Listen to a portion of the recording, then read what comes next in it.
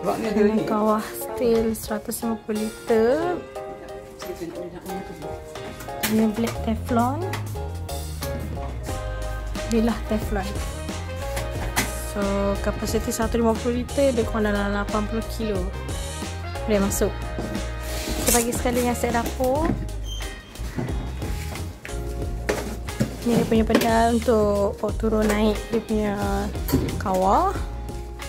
Lepas tu dia dia boleh adjust adjust pedal ni Ya, buat. yang ni so just pusing ini je So lah ni nak adjust dia punya ketinggian dia. Okey. Ni dia nak uh, kena angkat dulu lah. Dia boleh angkat tinggi ni. Ha. Dia punya petua je senang je buat. Uh, selepas kita masak, petua api, yang ni kena naik atas.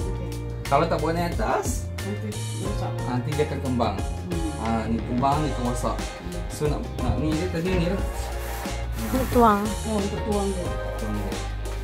Selalu ada customer di muka tu, ada customer yang tuang. Okey. so ni dia punya power dia.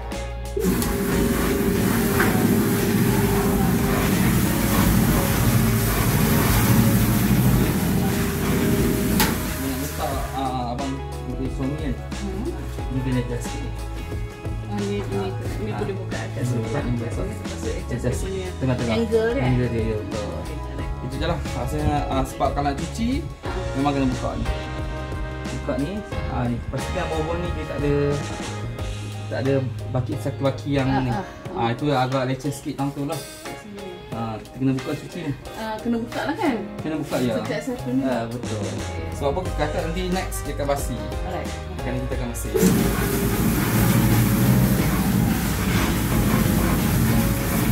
Banyak ni, boleh buat ni. Ke- ke 80, sampai 50 liter. Kalau sama sampai 50 liter. Ah, Kalau dalam kilo dia 80. Ah, lebih kurang. 80 liter. Ya, betul.